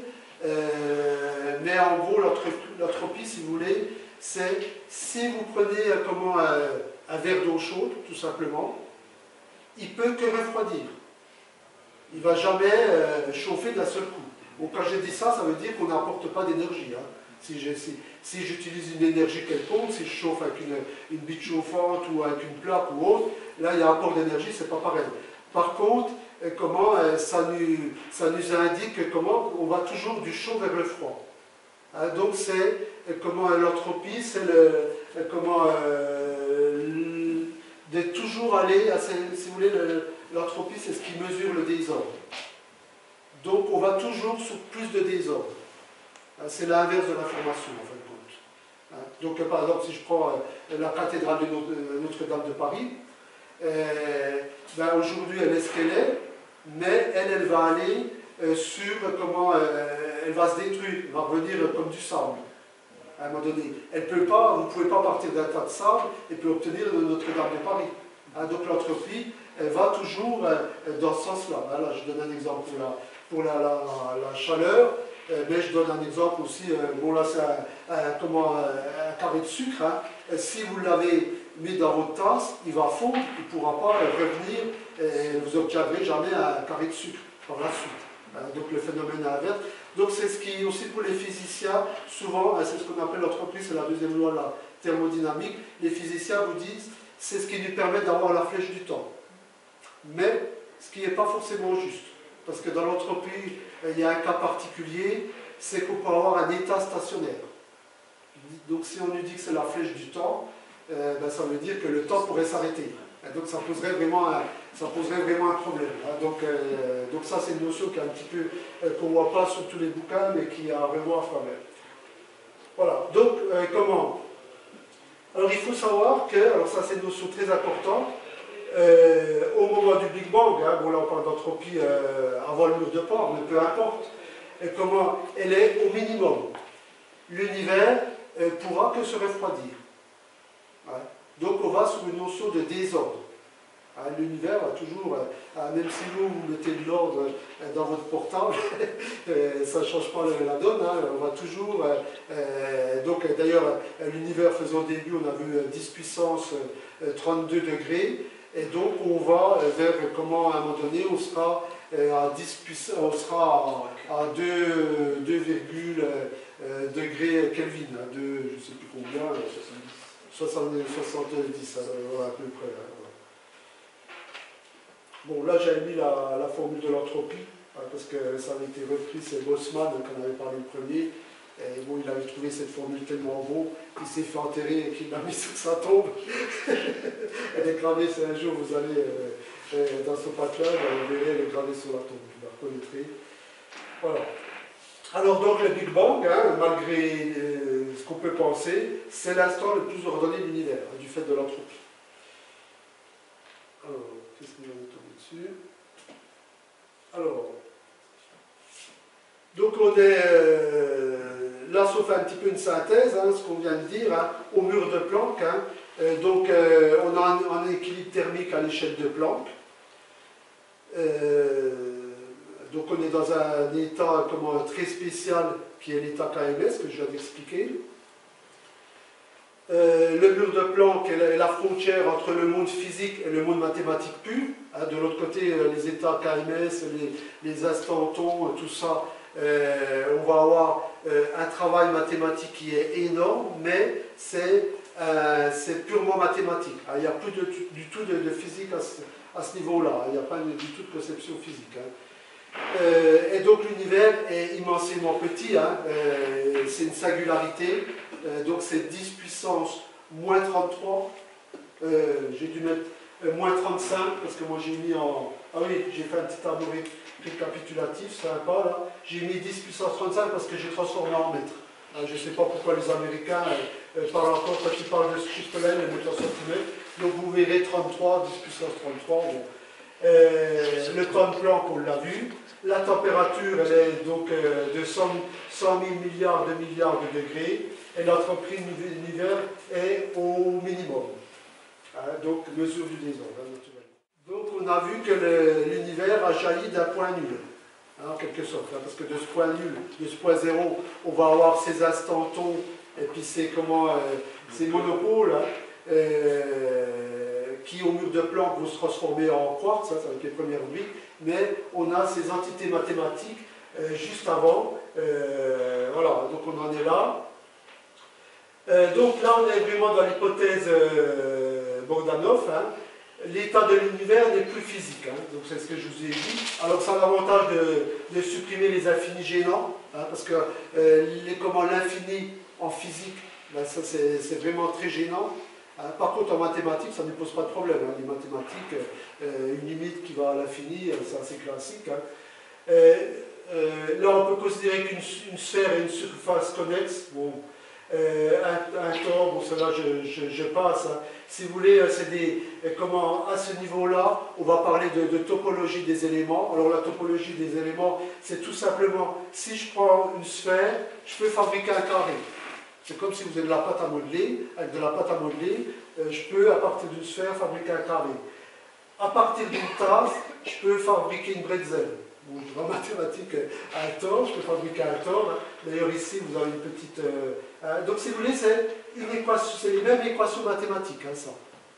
Euh, la seule chose, c'est que si euh, vous avez euh, comment Si vous avez deux trous dans la tasse, vous ne pourrez jamais faire ça mathématiquement. Par contre, ici on a une tasse avec deux anses. ici, je pourrais vraiment faire une bretzel parce qu'elle, elle a deux trous. Je pourrais faire varier à l'infini. Donc ça, c'est ça une topologie. Hein. Si vous voulez une topologie, peu importe les chiffres, hein, on peut faire varier les équations et obtenir des formes différentes. Voilà, donc euh, là, là je vous en ai mis une parce que c'est celle euh, qui est assez sympa, c'est la, bouteille de Klein, hein, c'est un petit peu euh, hors cadre, hein, mais il y en a qui ont proposé que l'univers, il aurait pu être créé à partir de ça. Hein. donc vous voyez, là on fait varier les équations et on obtient une forme. Donc là, c'est l'équation qui varie, hein, si vous voulez.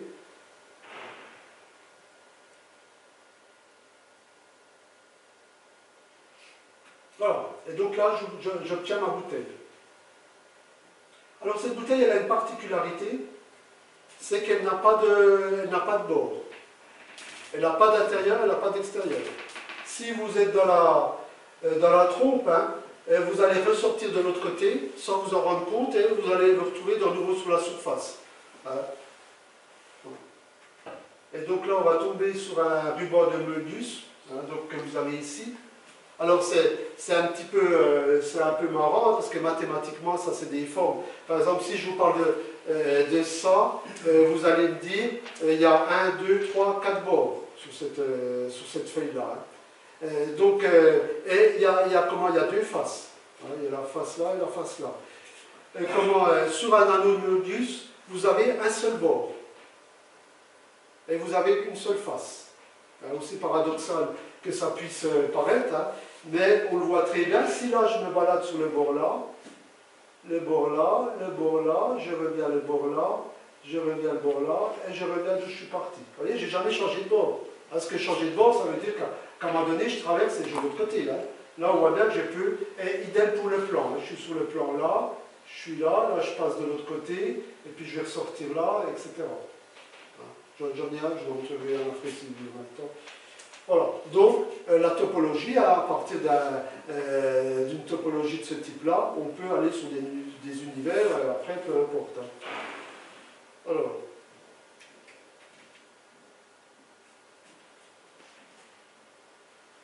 Alors, euh, alors maintenant, on va revenir un petit peu, on va faire la synthèse des, différents éléments hein, qu'on a vus. Euh, si, euh, comment, bon là c'est un petit peu plus délicat, si je prends un point que je le trace sur ma feuille, dans un système euh, orthonomé. Hein. Je, trace un point. Si je traçais une ligne, ben, je, mets, je mets à côté de mon point un autre point aligné. Hein. J'aligne tous mes, mes points. Euh, de la même manière, je peux, faire un, je peux en mettre tout autour de ma feuille, hein, et j'en ai une infinité de points qui partent de ma feuille par, rapport à ça. Maintenant, si vous avez euh, un petit peu saisi le, le, cas des nombres imaginaires, je veux dire, si on enlève la partie réelle du nombre, euh, le point étant une entité comment, purement mathématique, un point n'a pas de, valeur numérique. Hein. Un point, c'est, on ne peut pas avoir une épaisseur. Hein. On se l'imagine, bon, aujourd'hui on parle d'un halo, mais peu importe, hein. il n'a pas d'épaisseur. Donc ma ligne, elle a une quantité de, points. après, je peux mettre des mesures, peu importe, mais elle a une quantité de points. Donc, si je supprime la partie réelle, ma ligne, qu'est-ce qu'elle va faire? Elle va revenir au centre, elle va revenir sur un point initial. Ce point initial, il n'y aura plus qu'un point, mais il aura la valeur de tous les autres points. Hein, c'est ce qu'on faisait avec l'axe des affines.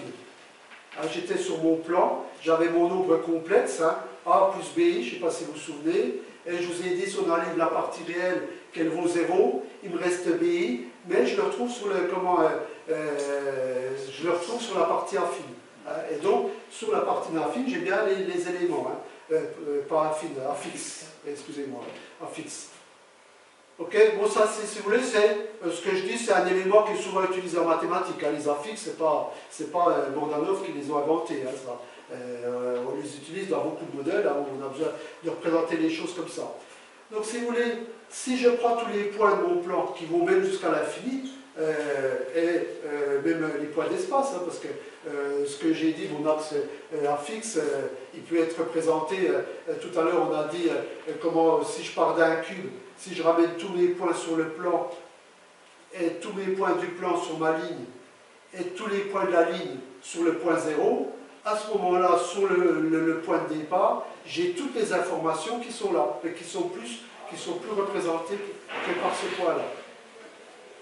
Donc, euh, c'est ce qu'on fait euh, ici. Hein. Donc, si vous voulez, euh, du fait qu'on a une singularité, hein, on avait tous ces, points-là, comment, ces instantons, ces instantons parce que là, c'est plus des monopoles. Hein. Il y avait instanton et monopole. Monopole, c'est quand on était. mais là, je suis quasiment au point zéro. Je dis pas avant, j'essaie de ne pas le dire, mais je suis quasiment au point zéro. Et donc, on n'a plus que des instantons. Et donc, tous ces points-là, ces instantons, vont euh, comment euh, euh, bouger et se retrouver en un seul point. Ils vont tous converger en un seul point. Voilà. Je, pas rien de particulier, hein, je continue. Donc ils vont tous s'effondrer, hein, c'est ce qu'on a écrit ici. alors il se déclenche, alors ah oui, il se déclenche donc ici un processus gigantesque et infernal l'espace que j'avais engendré dans, le premier état s'effondre totalement et irrémédiablement sur lui-même, comme aspiré en un seul point initial. Il en résulte un point unique, qui est la confusion de tous les autres, mais qui pourrait bien contenir la mémoire de tous les points qui se sont effondrés euh, sur lui. Alors, donc voilà un petit peu de euh, là, je reviens, parce que j'étais sur mon modèle mathématique, là, je reviens un petit peu euh, sur ma singularité, et voir ce qui se passe. Euh, donc là, on voit dans les instantons devenus totalement stables. Oui, parce que là, quand on est de l'autre côté, on est, on est stable. Hein. Quand on est passé dans un monde mathématique, on n'est plus dans un état comment instable, hein, on est vraiment dans un état stable. donc il commence à, à, se superposer, et donc ils vont se condenser en un seul point, euh, donc, qui serait l'instanton gravitationnel singulier, donc de taille zéro, hein, et c'est la résultante de la fusion de tous les autres à un rayon nul. Ah, donc on a un rayon nul, là, c'est d'ailleurs comme, on s'imagine un point. Ah, donc tout ça, euh, euh, voilà euh, il correspond à ce qui pourrait être la singularité initiale. Hein. Voilà. Donc là, on est sur une singularité initiale. Donc on parle encore d'entropie à ce niveau-là. bon, donc ça, ça marque le, début ultime de l'entropie en quelque sorte. Hein.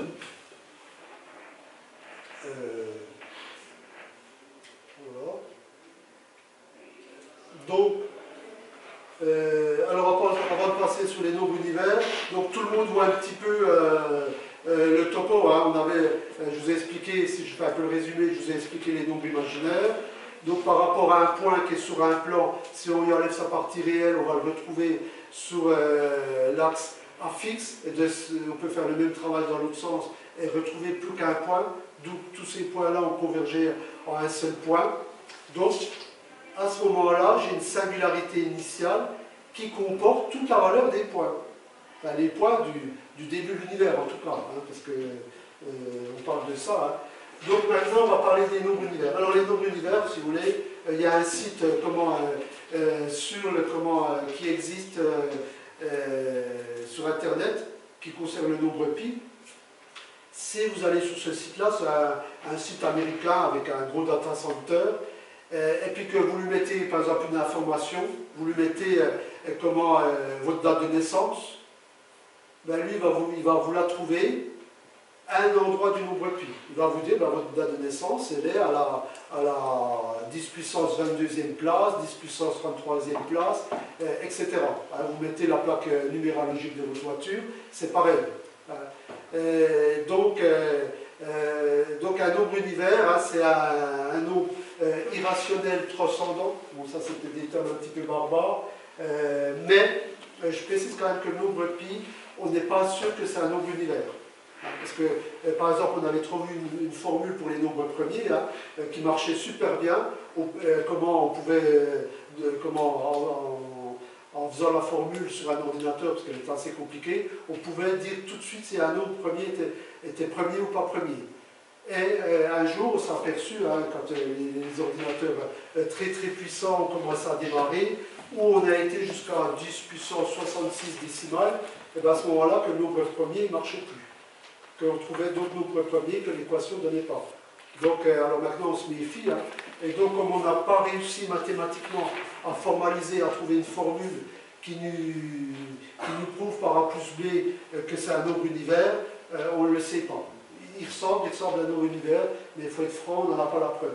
Par contre, vous avez Champernou, lui qui a créé un nombre univers.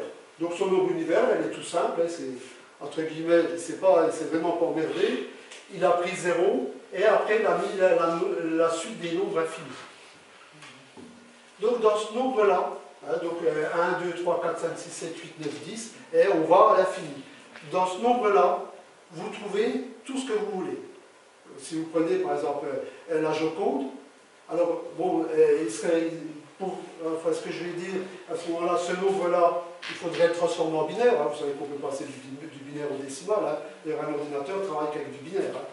Donc, si j'ai mon nombre qui est en binaire, si je prends ma toile comment, de la Joconde et que je la transforme en binaire, c'est ce que fait un JPEG, tout simplement, euh, sur un ordinateur, et que je mets tous ces points alignés, c'est ce que vous envoyez si vous mettez tous ces, tous ces points-là dans ce nombre univers, eh ben, vous aurez forcément la Joconde, vous allez la trouver à un moment donné.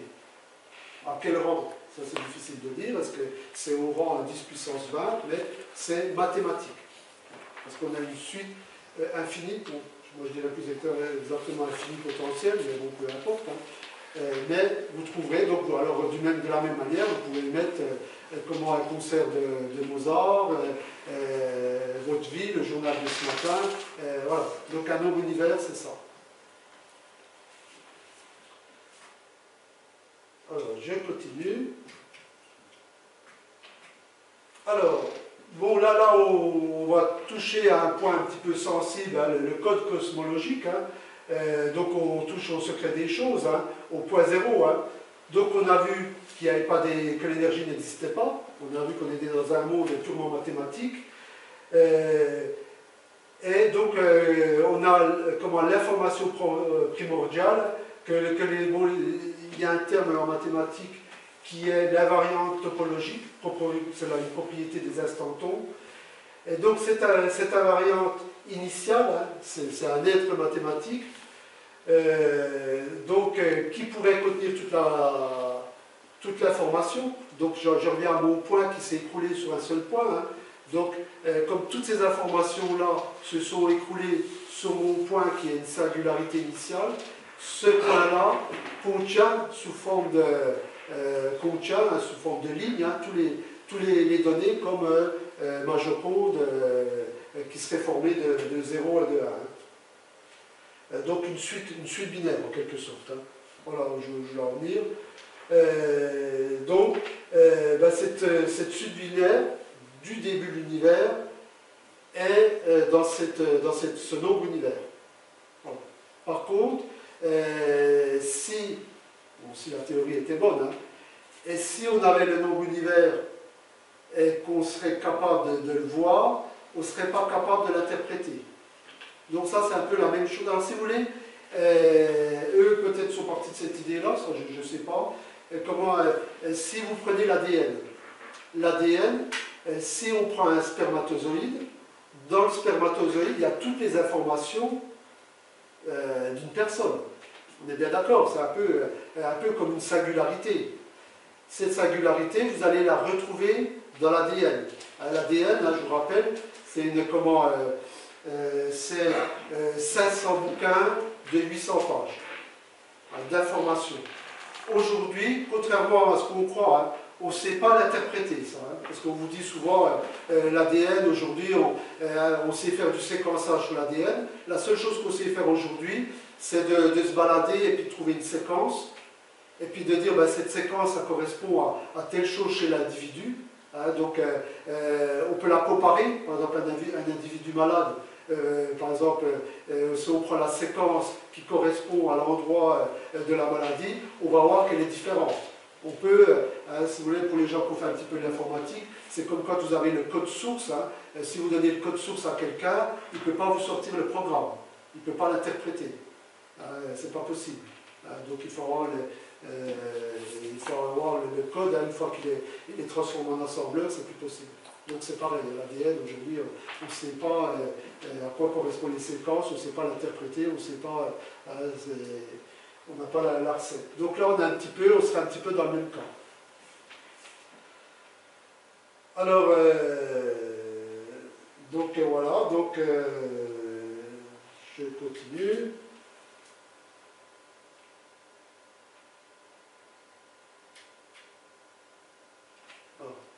Oui, donc euh, là, là on retrouve un petit peu ce que j'ai dit. Hein.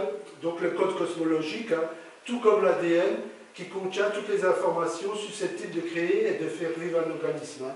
Donc là, ça serait d'avoir toutes les informations qui concernent l'univers. Euh, pour la petite histoire, l'ADN est enroulé, euh, c'est une forme de spirale enroulée. elle mesure environ 2 mètres, si on avait la possibilité, c'est tellement fin que on n'en a pas la possibilité, mais si on avait la possibilité de la dérouler, euh, dans n'importe quelle cellule de votre corps, vous savez que vous avez toujours la même ADN. Hein. Euh, donc vous avez, je ne sais plus, je crois 200 milliards de cellules. Bon, là, c'est vraiment un chiffre qu'il faudrait vérifier. Mais si vous faites le calcul, vous multipliez 200 milliards par 2 mètres, euh, vous allez tomber sur des, millions. et donc cette, cette valeur-là, ça correspond à un anneau qui passerait autour de Pluton une circonférence, hein, euh, qui tourne, donc ce qui veut dire euh, qu'avec euh, l'ADN d'un être humain, avec toutes les ADN de votre corps, les 200 milliards, si je les mets bout à bout, je peux faire un peu le, tour du système solaire. Ah, donc c'est pas rien. Bon, sachant que vous aurez 200 milliards de fois la même information, parce que chaque ADN, dans une ADN, hein, dans une, une cellule, hein, vous avez 500 volumes de 800 pages, ou c'est peut-être l'inverse, mais ça revient au même, la multiplication commutative. Comment, euh, euh, donc ça c'est dans une ADN. Hein. et dans chaque partie de votre corps, vous avez à chaque fois le programme hein, qui, est, toujours le même. Voilà. Donc ça voilà à quoi ça ressemble. Hein. ça c'est une photo euh, au microscope électronique. Là c'est du comment le codage. en fin de compte, on utilise quatre bases dans l'ADN. Et puis là c'est du séquençage. donc ça on sait y faire l'histoire d'ADN, vous connaissez bien. Ça. Voilà. Donc, là, on a un petit peu dans le même système. Hein. donc, on aurait euh, ce, nombre univers hein, qui serait en quelque sorte euh, l'ADN. Et dans ce nombre univers, eh ben, on aurait euh, toute l'information concernant l'univers hein, qui s'est écroulée en, un seul point. donc là, on, se l'imagine par, les nombres imaginaires.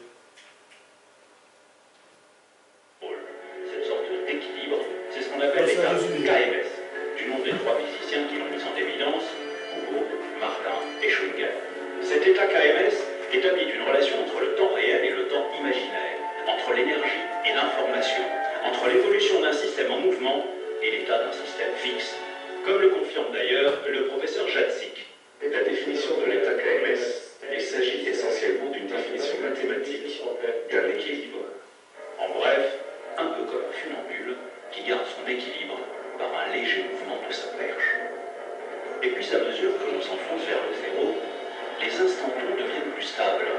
Ils cessent de se transformer en monopoles, avant de dominer entièrement le paysage. Et alors que nous nous approchons de la pointe du cône, tous les instantons convergent en une spirale hallucinante vers le point zéro où ils se superposent, se confondent et se fondent en un seul instanton primordial. L'instanton gravitationnel singulier de taille zéro. Cet instanton unique, c'est l'objet mystérieux qui contient le secret de la naissance et de l'évolution de l'univers. Ici, le temps réel n'existe plus. Il n'y a que du temps imaginaire pur, que de l'information. Notre monde physique a laissé la place à un monde de mathématiques pures. Et voici donc quel pourrait être le secret de l'univers à l'origine. Au point zéro, un peu comme l'ADN contient toute l'information qui va permettre à un être vivant de se développer, l'instanton gravitationnel singulier contient toute l'information du grand univers. Voilà. Si, vous avez compris, ben, je pense, hein, c'est pas, pas euh, euh, notion. Euh, et donc, il, alors, quand même une remarque, c'est qu'il précise bien que le, point zéro, hein, de valeur zéro, donc ça c'est important parce qu'on a affaire à, un être mathématique. hein. donc, euh, c'est comme un point. hein. Euh, quand on s'imagine un point, euh, on ne peut pas s'imaginer de valeur. Donc, en, tant qu'être mathématique, c'est bien zéro. Voilà. Donc là, ben là, on, a, fini. Bon, maintenant, ce qu'il y a de... bon, là, je passe rapidement parce que c'est un peu particulier. Alors, simplement de ce qu'il y a vraiment d'original dans la théorie. Euh, euh, alors, ce qu'il y a d'original, euh, donc c'est la théorie de la gravitation quantique. hein. Donc aujourd'hui, vous savez que ça, c'est un problème qui n'est pas du tout réglé. D'ailleurs, le boson de Higgs sert à régler ça. hein. Mais quand on aura, pour que le boson de Higgs fonctionne, il faut l'énergie de Higgs. hein. Autrement, ça ne fonctionne pas. Un boson comme ça. donc ça, c'est encore pas à régler non plus. En plus, il y a beaucoup de physiciens qui commencent un petit peu à abandonner. Euh, voilà. Donc eux, eux sont pas sous cette théorie-là quand même. Eux, ils sont sur la théorie des comment, euh, euh, comment de la boucle quantique. Je ne sais pas si quelqu'un a déjà entendu parler de, cette bête-là. Hein, donc il y a une, théorie qui n'est pas la même que la théorie des cordes. hein. En gros, dans la théorie des cordes, des supercordes, on est dans un système comment continu, ce qui serait l'énergie de Heiss, hein, qui euh, donc un peu euh, de l'éther, hein, un petit peu 50 ans en arrière. Euh, par contre, dans leur théorie à eux, ça suppose qu'on est dans un monde discontinu. Le monde n'est pas, euh, pas continu. Euh, parce que, bon, comme on traite des, éléments mathématiques, hein, le point, hein, une ligne, c'est pas quelque chose euh, de continu. Une ligne, c'est quelque chose qui est formé par des points. On va la traiter comme un élément continu, mais à la base, elle est formée par des points. Hein, voilà. Donc ça, c'est l'originalité. Euh, le temps imaginaire, hein, ça je vous l'ai dit, euh, comment, euh, comment c'est le seul cas où on traite le, temps imaginaire pour le, Big Bang. hein. Le temps imaginaire est utilisé dans beaucoup de domaines, hein, en physique. D'ailleurs, les états KMS, on les étudie dans, beaucoup de cas, on, peut, on est amené à utiliser des temps imaginaires. Mais hein, ils n'ont pas inventé, si vous voulez, des outils mathématiques. hein. Eux, ils ont en fait utilisé que des outils mathématiques, hein, on est bien d'accord. hein. Donc, euh, bon, là, c'est ce que je viens de dire, la, gravité quantique à boucle est la deuxième approche de la gravitation quantique, la première étant la théorie des cordes. Donc, euh, elle n'est pas compatible avec cette théorie-là. Donc, c'est la, la gravité quantique qui est compatible euh, avec ce qu'on vient de, de parler. Euh, Donc, euh, oui, donc, euh, là, elle est décrite comme un phénomène discontinu, etc. Euh, voilà, donc l'espace est continu dans la théorie des cordes. hein. Euh, la théorie euh, cosmologique, ouais, donc ça on l'a vu. Donc les histoires d'infini gênant, je vous en ai parlé. Au point zéro, le contenu du pré-espace-temps ne serait pas fait d'énergie-matière, mais d'une pure information. Bon, ça on l'a vu également, hein, donc on a tout vu, hein.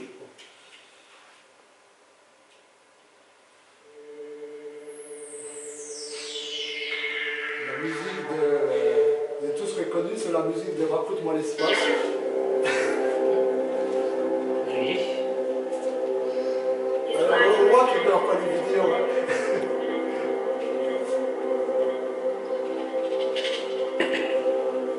Voilà.